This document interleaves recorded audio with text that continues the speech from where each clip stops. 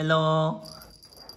Cả nhà tiệm mèo sen ơi Hôm nay tiệm về một bé mèo anh lông ngắn màu red nha mọi người nha. Một em mèo có tông màu đỏ cực kỳ xinh Mũi hồng, mắt xanh. Quá là dễ thương luôn mọi người ạ. Bé mèo anh lông dài thuần chủng mọi người nha. Trại mới gửi lên cho tiệm. Trộm vía là bé về nhà mới nhưng mà bé không hề lạ một chút nào đâu. Em rất là chịu chơi nè mọi người nè Trời ơi xinh thế nhỉ? Ôi cái cục bông này xinh thế. Yêu thế.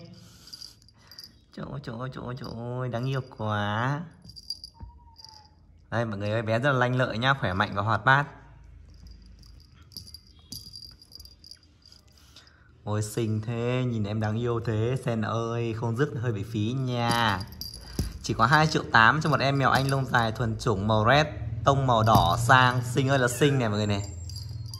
Trời ơi, cưng chịu siêu chiêu ha. Thấy, mọi người thấy chưa? Bé rất là lanh lợi nha. Đấy, trời ơi Yêu thế.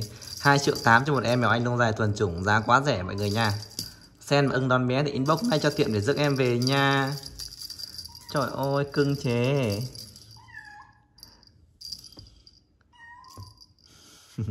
mọi người ơi, mình kết thúc video của em ấy đây.